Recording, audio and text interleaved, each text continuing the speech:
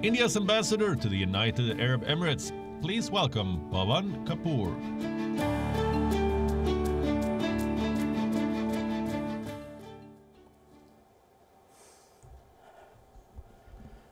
Excellencies, ladies and gentlemen, Namaste, Salam Alaikum, and now post August 2020, can I also say Boker Tov?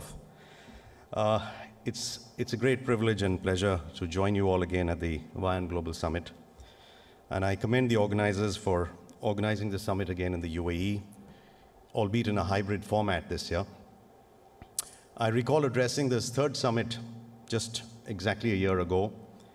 And as it turned out, it was the last large event that I attended uh, before the pandemic lockdown.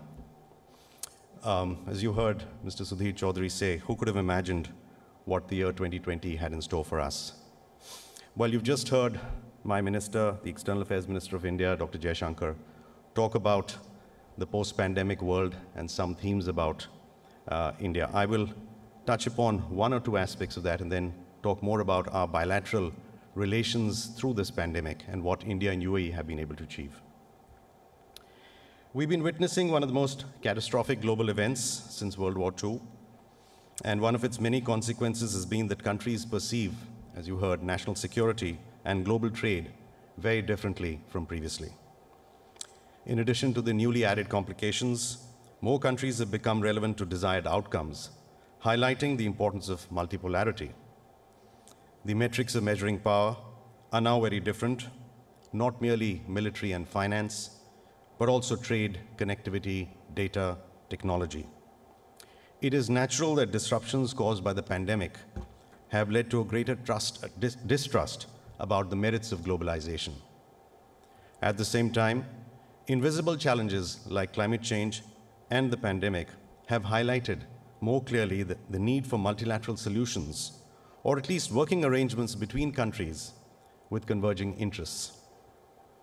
This, in turn, has brought in conversations about resilient supply chains, and this is where India has found another opportunity to play a positive role. The world needs more trusted and capable players. As a pluralistic and open society with a market economy, India fits the role well. The choice for a nation to just focus on its own recovery is an easy one. However, the choice for a nation to build up its own capabilities, including for the benefit of others, is a difficult one. I would say that India has decided to take the latter path. The pandemic raised unprecedented challenges that led to difficult decisions. For example, the decision by India to close its airspace last March for two and a half months, even for its own citizens, was a very difficult one. And I can say that the kind of problems we had trying to explain to our people here, who are present in very large numbers, it was a very difficult decision to explain to them. But this gave the government of India breathing space to control the numbers and create an impressive health infrastructure to deal with the anticipated surge in cases, which proved very helpful subsequently. However, as I said, this led to considerable challenges for Indian missions overseas, like in the UAE, where we had to answer and support the very large and diverse Indian diaspora. After weeks of responding to their urgent needs for medical and psychological counseling, and providing food or temporary accommodation to hundreds of our people, we turned to the massive task of repatriation in early May 2020. You may not be surprised to learn that within a few days, three days in fact, of our opening registration for repatriation on our websites, we had 250,000 people registered. The date of May 7 remains etched in my memory as the first flight to mark the Vande Bharat mission, which you just heard the minister speak about, took off from Abu Dhabi for Kochi. And in the first three months alone, that's May, June, July, we had repatriated over 300,000 Indian nationals from the UAE to India alone. The numbers have since crossed over a million and a half, but a very large number of people who traveled to India have since also come back, especially after we entered into a bilateral air bubble arrangement which is still ongoing and supporting the strong people to people exchanges between the two countries. Although it is a far cry from our normal connectivity of air services, we are operating over 300 flights a week between the two countries, uh, the largest of the 27 air bubble arrangements that India has in place at present. This successful effort at repatriation and continuing exchange of people would not have been possible without the strong support of the UAE government and their departments, in particular of health, civil aviation, interior, and of course, their foreign ministry. In fact, the India UAE Comprehensive Strategic Partnership has truly emerged stronger since the start of the COVID pandemic. The constant high level empathetic exchanges between our leadership have ensured this outcome. Our External Affairs Minister, Dr. Jaishankar, and his counterpart, the UAE Foreign Minister, His Highness Sheikh Abdullah, met virtually in August last year for a comprehensive review of bilateral relations. Um, continuing in the virtual format, we had the high level task force on investments, co chaired by our Minister for Commerce and Industry, Sri Piyush Goyal, and on the UAE side, uh, His Highness Sheikh Hamad bin Zayed Al Nahyan, which happened in November which also gave an impetus to our trade and investment relations. Our ministers of education had again a virtual exchange in December discussing issues of education focusing on India's 2020 uh, new education policy, national education policy. We then had Dr. Jaishankar visit the UAE in late November 2020, his first bilateral visit overseas since the pandemic. During the visit, he met with the Crown Prince of Abu Dhabi, the ruler of Dubai, and of course his counterpart, the Foreign Minister of UAE. Our Minister of State, uh, Dr. Uh, Sri Muraleedharan, also came to the UAE in January 2021, and more recently we were pleased to have to receive the UAE Foreign Minister, His Highness Sheikh Abdullah, in Delhi just last month. The discussions during these visits have focused on pursuing cooperation in new areas in the post-pandemic world, in addition to ex enhancing existing areas of cooperation. India and UAE have continued to strengthen defense exchanges during this period. Our Chief of Army Staff, for the first time ever, made a visit. General Naravane visited the UAE in December.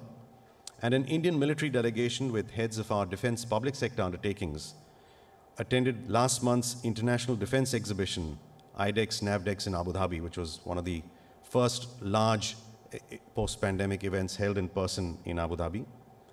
And a delegation from the Indian Air Force is also participating in the ongoing multinational exercise Desert Flag here in the UAE as we speak. So, as you can see, the pandemic has not been a barrier to our determined efforts to strengthen our bilateral cooperation. In fact, I would like to suggest and highlight that even stronger bilateral cooperation has emerged in the areas of healthcare and food security during this period. And as you heard our minister say, these are new concepts being added on to the concept of national security. Since the onset of the pandemic, we ensured that food supplies to the UAE remained uninterrupted, despite the lockdowns in India. As a natural progression, both sides are now exploring further opportunities in this area. India was pleased to supply adequate quantities of HCQ tablets to the UAE on a priority basis and also facilitated the arrival of many more nurses and doctors from India to support the healthcare services service providers in this country. India was itself grateful to receive medical supplies from UAE in the initial phase of the pandemic.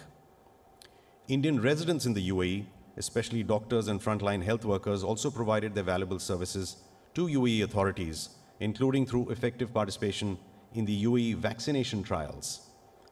It is a great tribute to the UAE leadership that starting last December, they have rolled out a free vaccination program for all its residents, which includes more than 3 million Indians.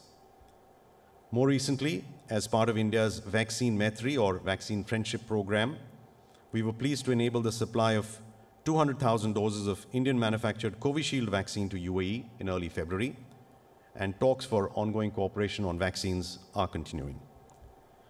We have always emphasized the strength of collective efforts in fighting this pandemic. And India and the UAE have shown how useful this can be in practice. Ladies and gentlemen, a resilient world in a post COVID situation would need responsible countries to effectively manage domestic challenges as well as contribute more abroad. As you heard our External Affairs Minister just say, India has now supplied made in India COVID vaccines to almost 80 nations across geographies. This is, of course, calibrated against the requirements of our domestic vaccination program and India's obligations under the Gavi's COVAX facility for developing countries. But India's Vaccine Maitri initiative is largely driven by our own long standing belief in human centric global cooperation. While geopolitics will continue to influence the decision making of countries, events like the COVID 19 pandemic should reinforce the importance of countries working together to better respond to such global challenges. India UAE cooperation during the pandemic is an example of how to find opportunities in a crisis with a focus on the welfare of the people.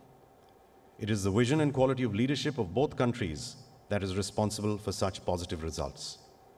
I hope that such people centric policies that have stood the test of time would be emulated by others too in the post pandemic world. Thank you very much.